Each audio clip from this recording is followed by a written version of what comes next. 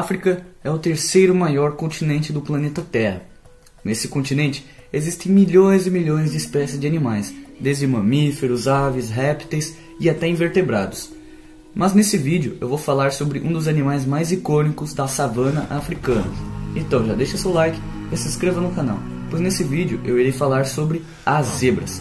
Então vamos conhecer algumas curiosidades e as espécies de zebras do, do continente africano a partir de agora. Então vamos lá!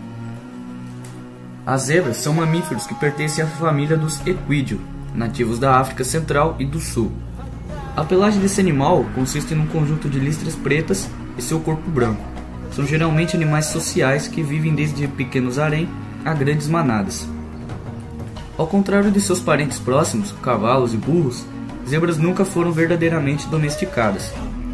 As zebras habitam nas savanas africanas, encontram-se distribuídas por famílias, machos, fêmeas e filhotes. Esses animais, por serem atacados habitualmente por leões, podem se tornar animais extremamente velozes, pois para fugirem de seus predadores, utilizam a fuga e seus fortes coices, podendo quebrar até a mandíbula de um leão.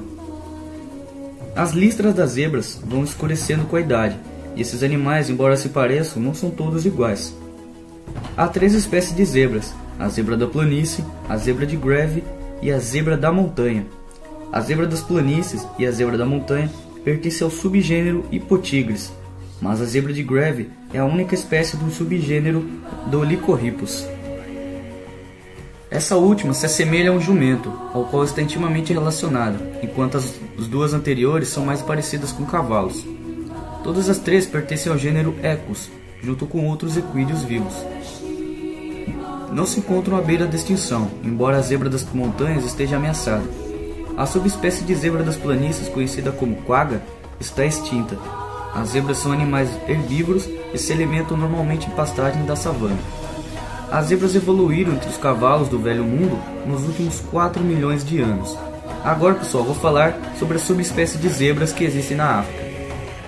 E tem a zebra da planície, é a mais comum, e tem ou teve cerca de seis subespécies distribuídas em grande parte da África Central e, e Oriental. A zebra da montanha, do sudoeste da África, tende a ter um casco, um casaco elegante, com uma barriga branca e listras mais estreitas do que a zebra da planície. Tem duas subespécies e está classificada como vulnerável. Zebra de Greve é a maior, com uma longa e estreita cabeça, fazendo com que pareça um tanto com um burro. É um habitante das pradarias semiáridas da Etiópia e no norte do Quênia. Zebra de Greve é a espécie mais rara e é classificada como ameaçada de extinção. As zebras das planícies medem cerca de 1,3m na cernelha, com um corpo entre 2 a 2,5 metros e meio de comprimento, com uma, uma cauda de meio metro. Elas podem pesar até 350 quilos, sendo os machos um pouco maior que as fêmeas. A zebra de Greve possui um metro e meio de altura no ombro e pesa cerca de 450 kg. Suas listras são muito estreitas, não cruzam sobre a parte inferior das costas como fazem a zebra da montanha do cabo. A zebra da montanha do cabo é a menor zebra, de pé mede cerca de 1,2m de altura na cernelha e pesa cerca de 272 kg. É bastante até. Essa subespécie tem uma barbela sobre o maxilar inferior que outras zebras não têm. Anteriormente, acreditava-se que zebras eram animais brancos com listras pretas, uma vez que algumas zebras têm ventos brancos. Evidências embriológicas, no entanto, mostraram que a cor de fundo do animal é preto e as listras brancas e barrigas são adições. Experimentos feitos por diferentes pesquisadores indicam que as listras são eficazes em atacar menos moscas, incluindo mosca tsetse e a mutuca. Uma experiência de 2012 na Hungria mostrou que os modelos listrados eram quase minimamente atraentes para mutucas. Essas moscas são atraídas para a luz polarizadas li linearmente e o estudo mostrou que as listras pretas e brancas perturbam o padrão atraente. Acasala o ano inteiro, mas picos de nascimento ocorrem principalmente durante a estação chuvosa. Período de gestação dura cerca de 360 a 396 dias, e um único filhote é produzido, que é capaz de ficar em pé quase imediatamente e começa a pastar dentro de uma semana. O potro é desmamado entre 7 a 11 meses e atinge a puberdade de 16 aos 22 meses. Sua principal defesa é a corrida e atinge velocidades de até 64 km por hora. Seu principal predador é o leão e sua principal defesa é, é a corrida. Entretanto, ela pode morder e dar coices, e existem registros de leões mortos por, elas ao quebrar a mandíbula com um poderoso coice. A zebra da planície é a mais comum, ocorrendo por toda a savana africana.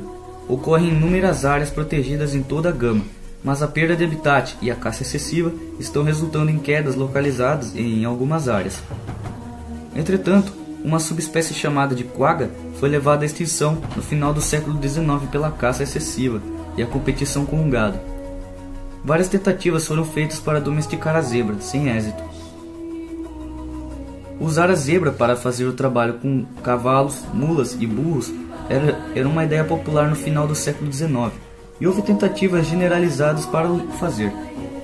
O nome zebra deriva do nome zebro ou zebra, um equídeo selvagem atualmente extinto que vivia na Península Ibérica até o século XVI.